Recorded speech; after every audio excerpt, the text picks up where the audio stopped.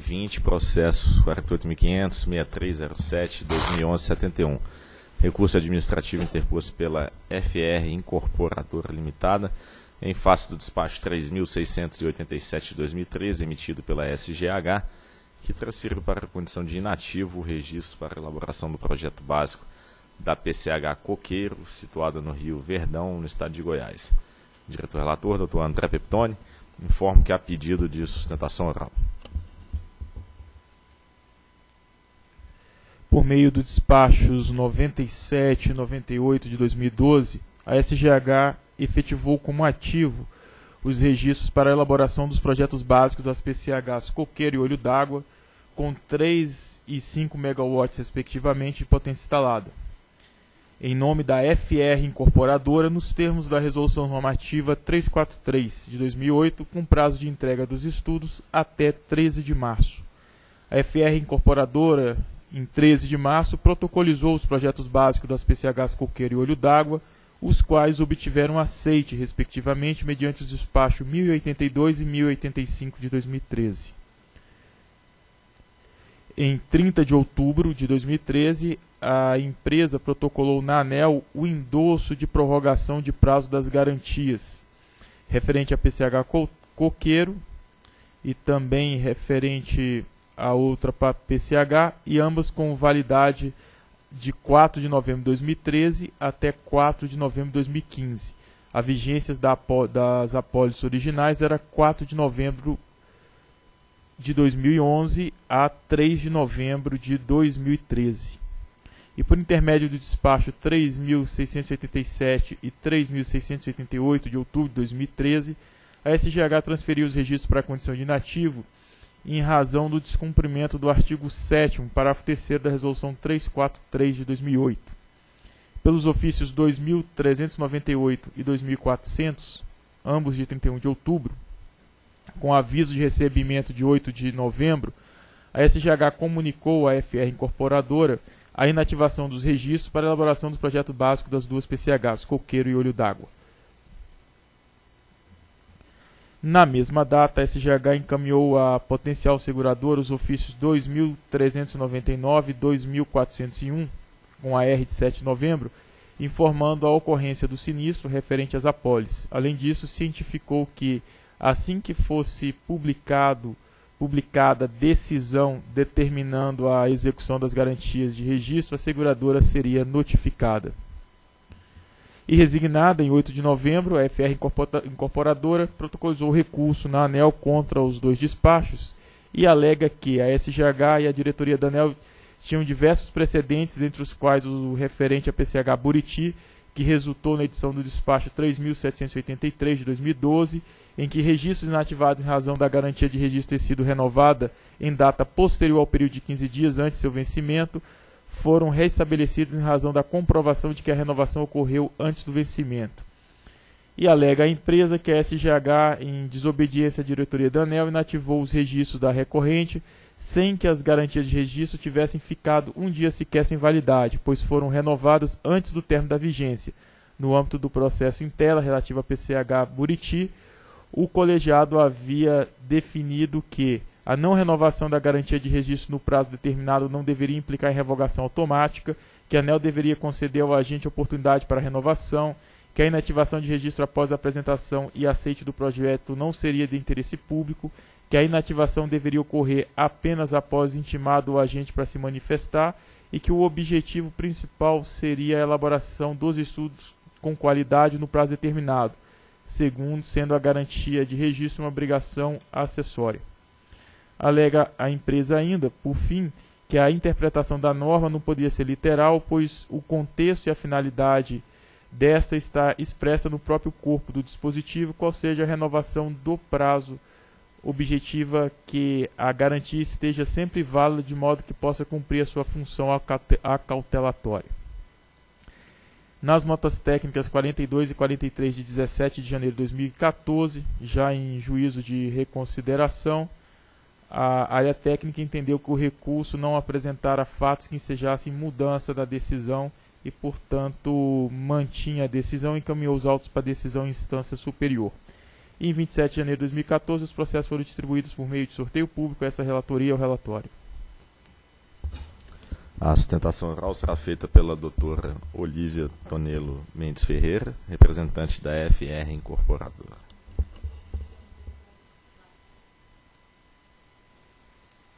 Alô? Pronto. Senhor diretor-geral, senhor diretor-relator, demais relatores, senhor procurador, senhor secretário-geral, demais membros aqui participantes, senhores.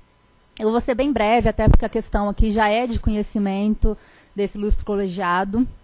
Inclusive, nas últimas duas sessões, vossas senhorias já apreciaram questão semelhante, então não há por que eu me alongar. Só ressaltar os, as, os detalhes desses casos específicos, itens 20 e 21. Nos último, nas últimas duas sessões, nas últimas reuniões públicas que vossas senhorias julgaram essa matéria, estava em jogo dois. Uh, nos processos estavam em jogo duas questões. Primeiro, que havia concorrência. E segundo, que a, a, as garantias estavam efetivamente vencidas.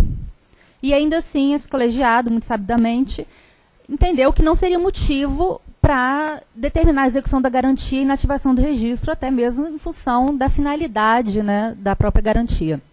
Pois bem, se naqueles casos essa decisão já foi acertada, nesses casos agora em exame, se mostra ainda mais importante essa reforma da decisão da SGH. Por quê? No caso presente, como já bem relatado, não houve um dia sequer que o processo tivesse em garantia vigente. Ou seja, a garantia foi renovada antes do término de vigência da garantia apresentada. Só não foi no prazo de 15 dias anteriores ao final da vigência, mas momento nenhum deixou de viger. E outro ponto importante, senhores, não a concorrente. Ou seja, não, não tem motivos para não se aceitar essa renovação da garantia. Então é basicamente isso que eu gostaria de registrar. Eu, inclusive, eu acredito que essa, diante de tantas matérias de importância maior, não deveria nem necessidade de vossas senhorias estarem agora apreciando isso, inclusive desde a PCH Buriti, que esse entendimento já havia sido sentado aqui, né, mas infelizmente a SGH optou por não, retrato, não reconsiderar a decisão.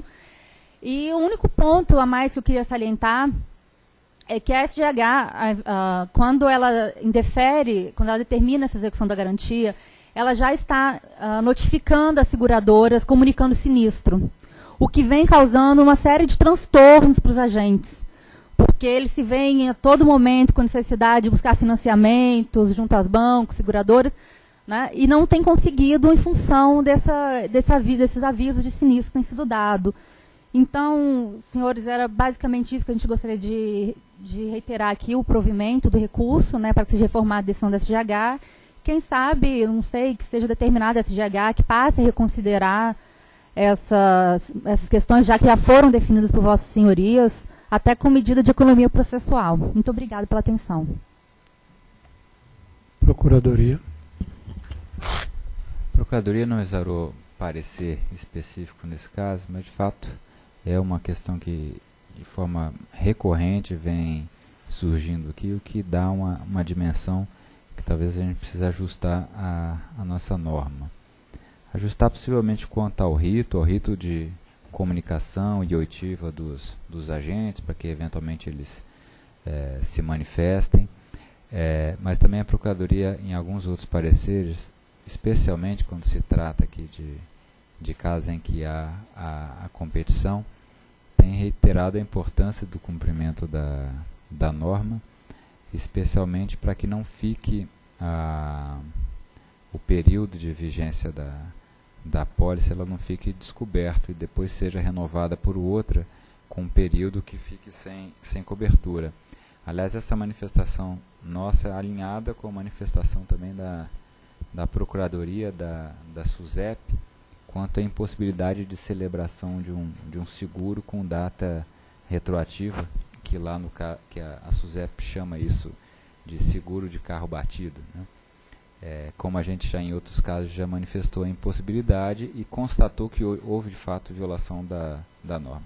Nesse caso aqui parece um pouco diferente, primeiro porque não há competição e também porque efetivamente o descumprimento aqui foi da norma da renovação e não efetivamente quanto à a, a, própria é, ocorrência de um período sem a, a, devida cobertura. Mas de qualquer forma isso, isso dá a dimensão de que de alguma maneira a gente precisa corrigir isso na, na norma para que esse rito seja regular e transparente para todos os agentes. Trata-se do exame do recurso administrativo interposto pela FR Incorporadora em face do despacho 3.687 e 3.688, ambos de 2013, emitidos pela SGH, que transferiram para a condição de inativos os registros para a elaboração dos projetos básicos das PCHs Coqueiro com 3 megas e Olho d'Água com 5 megas de potência instalada, situadas no rio Verdão, no estado de Goiás. Senhores diretores, recepciona-se o recurso administrativo, eis que preenchidos os pressupostos legais de admissibilidade recursal. O objetivo da garantia de registro é assegurar a entrega do estudo no prazo definido, e com a qualidade necessária para sua aprovação. A renovação, de forma que permaneça válida até sua devolução ou substituição pela garantia de fiel cumprimento, é obrigação do agente estabelecida no parágrafo 3 do artigo 7 da Resolução 343 de 2008. Quando a garantia de registro não é renovada, deve ser observado o disposto então no artigo 7 da Resolução Normativa 343 de 2008 que dispõe no, no parágrafo 4 que os interessados que não mantiver a garantia de registro na condição prevista nessa resolução estará sujeito às sanções. No parágrafo 7 que a garantia de registro será executada por determinação expressa da ANEL nas seguintes hipóteses, descumprimento aos termos da resolução. E no parágrafo 8 que a execução da garantia de registro ocorrerá após instrução de termos de encerramento do processo. A SGH, em juízo de reconsideração, este realizado nas notas técnicas 42 e 43 de 17 de janeiro de 2014, manteve a inativação dos registros, mesmo após a comprovação de que a empresa havia protocolado em 30 de outubro de 2013, portanto, cinco dias antes do vencimento das garantias, que ocorreria em 3 de novembro, endosso de prorrogação de garantia com vigência até 4 de novembro de 2015. Quanto à alegação da empresa de que a ANEL já havia reconsiderado a inativação de registros em casos semelhantes, a área técnica argumentou que o precedente referente ao projeto básico da PCH Buriti e os demais citados na peça recursal ocorreram no bojo do aperfeiçoamento dos procedimentos referentes ao processo de execução de garantia e que o estudo objetivando tal aperfeiçoamento concluiu pela manutenção do prazo definido na 343 e diante disso conclui que a área não pode extrapolar as decisões da diretoria para os demais casos, se furtando de seguir os mandamentos normativos estabelecidos na resolução vigente.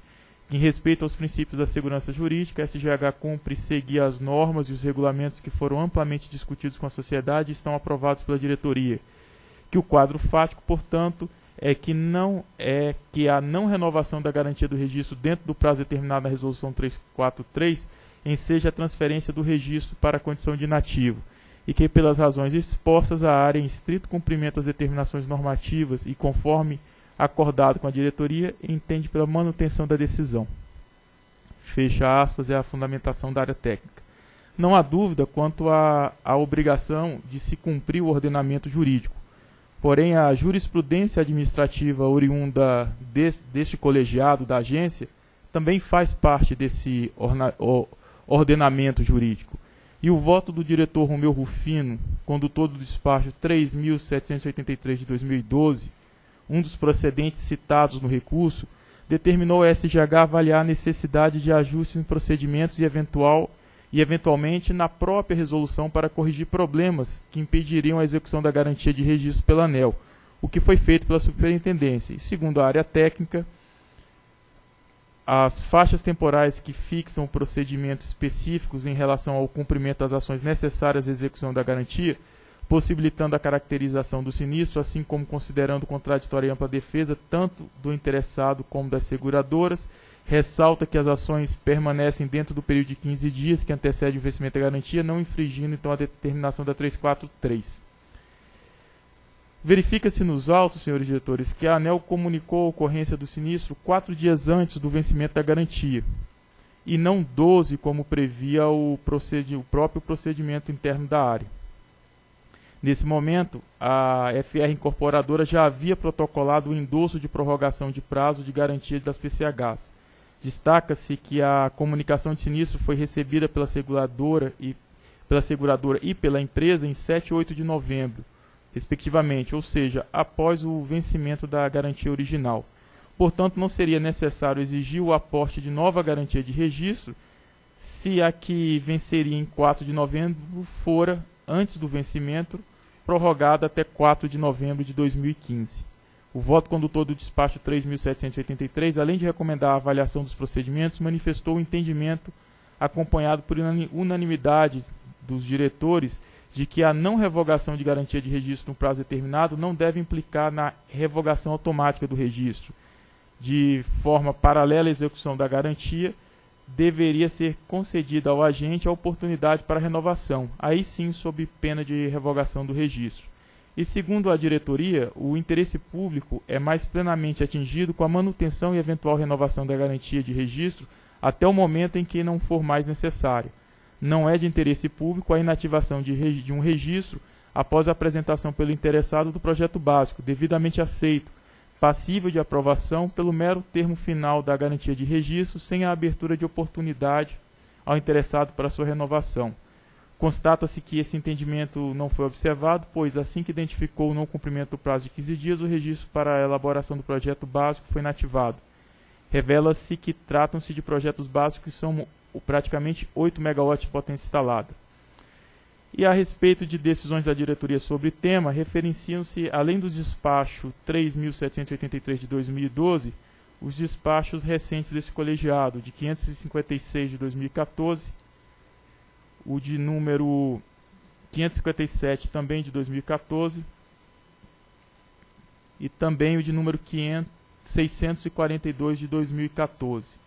Logo, ao se considerar que está pacificado no colegiado que a falha do cumprimento da obrigação secundária não deve impedir que se concretize o objetivo principal almejado, e considerando-se que as garantias de registro dos projetos básicos das PCHs Coqueiro e Olho d'Água em nenhum momento tiveram sua vigência expirada, pelo contrário, a pólice possuía término de vigência em 3 de novembro, sendo aportada nova garantia em 30 de outubro que o objetivo principal do processo é a elaboração do estudo de qualidade no prazo determinado, que a renovação da garantia com prazo de 15 dias anteriores ao, seu, ao vencimento é obrigação acessória e que, quando da publicação dos atos administrativos, as garantias financeiras referentes aos projetos básicos das PCHs Coqueiro e Olhos d'Água estavam em pleno vigor, entende-se que os registros para elaboração dos projetos Coqueiro e Olho d'Água devem ser restabelecidos.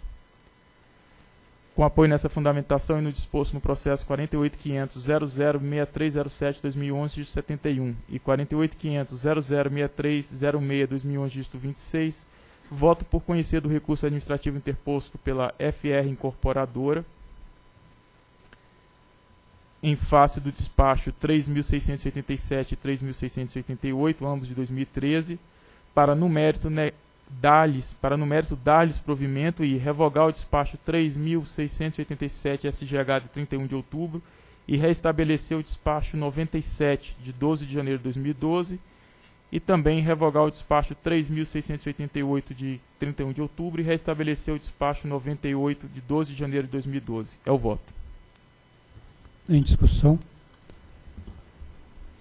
Eu só não entendi aqui, André, quando é que você retrata aquela encomenda que foi feita lá, por ocasião daquele processo que relatei, para esse GH analisar né, o aprimoramento lá, ou da norma do procedimento, que você até retratou aqui alguma coisa. E, e como é que está isso? Você sabe? Ou seja, está envolve alteração da norma ou, ou é só um procedimento? Não, não entendi bem. Olha, é, a gente, até pela jurisprudência colegiada, a gente solicitou que seja implementada a alteração da norma. Uhum. Agora, o andamento disso aí, Romeu, não, não tenho informações para lhe colocar o cenário atual. Tem que verificar com a área técnica. Eu estou dizendo que assim, porque eu acho que já é de fato uma posição consolidada da diretoria que se a norma, que aí é uma interpretação, eu tenho dúvida se a norma dá esse comando assim tão direto, para inativar o registro no caso de não manter uma garantia válida. Né? Mas possivelmente, como é uma obrigação dela renovar a garantia com antecedência de 15 dias para ter sempre uma garantia válida, eu, eh, em princípio, entendo que isso poderia sim ser caracterizado do sinistro. Quer dizer, o sinistro que eu me refiro é seria motivação para executar a garantia o fato de não cumprir uma obrigação de manter uma garantia válida, mas não de inativar o registro, como nós estamos colocando, né? que é uma garantia acessória, né, como nós já colocamos, para é, é, para garantir, assegurar de que o registro, quer dizer, será entregue o projeto e ele mantém lá, vamos dizer assim, até a sua análise, em princípio, um, um, um estudo que merece ser, é, é, enfim, aprovado, de boa qualidade. Né?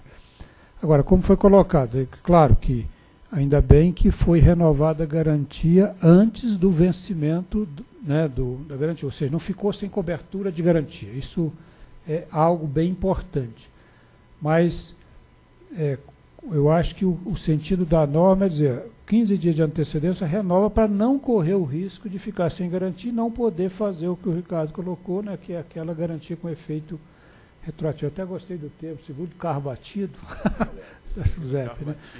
É, então, aí é que eu estava me referindo, que realmente precisa, né, eu não sei se alterar a norma, uma interpretação mais apropriada da norma, porque Claro que a garantia precisa continuar existindo, ela precisa ter uma garantia válida, porque não é só a entrega, né? até a gente conseguir analisar e aprovar o, o, o, o estudo de, de, inventário.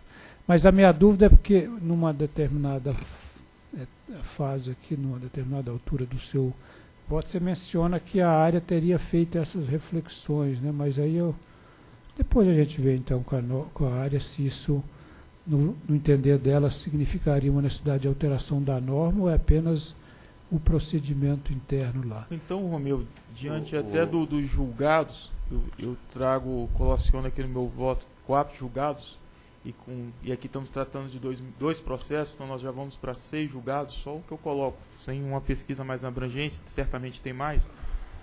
A gente poderia aventar até a possibilidade de se criar uma súmula a respeito desse assunto André, eu, eu, eu, eu, proponho a gente fazer uma reunião técnica com a área, porque eu não sei se nesse momento é, deve estar existindo algo semelhante, porque como é, isso aconteceu já nas duas últimas reuniões, consequentemente esse processo já vinha em curso.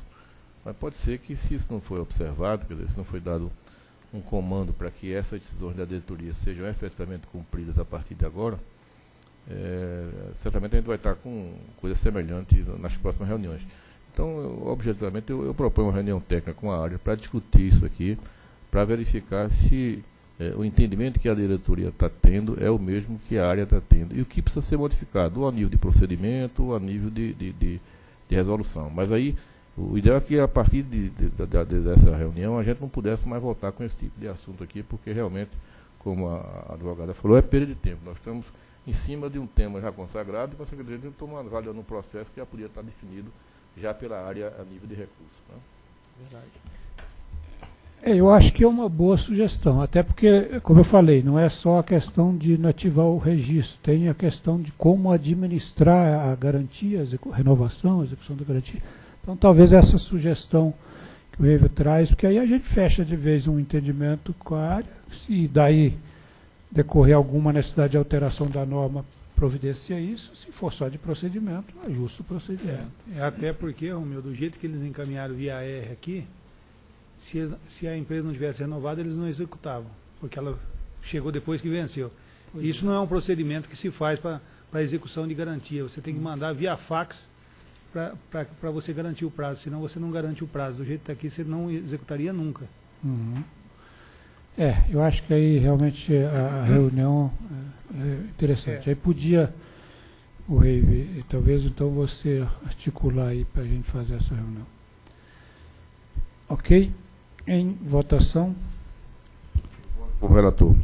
Também voto com o relator. Também voto com o relator. Proclamo então que a diretoria decidiu por revogar, é, conhecer do recurso né, do mérito dar-lhe provimento e revogar o despacho 3.687 SGH de 31 de outubro de 2013 e restabelecer o despacho 97 SGH de é, 12 de janeiro de 2012, que concedeu o registro para elaboração do projeto básico do Pequena Central Hidrelétrica PCH Coqueiro, situado no Rio Verdão, no estado de Goiás, e revogar também o despacho 3.688 da SGH de 31 de outubro de 2013, e restabelecer o despacho 98, que concedeu o registro para elaboração do projeto básico da pequena central hidrelétrica Olho d'Água, situada no Rio Verdão, também no estado de Goiás.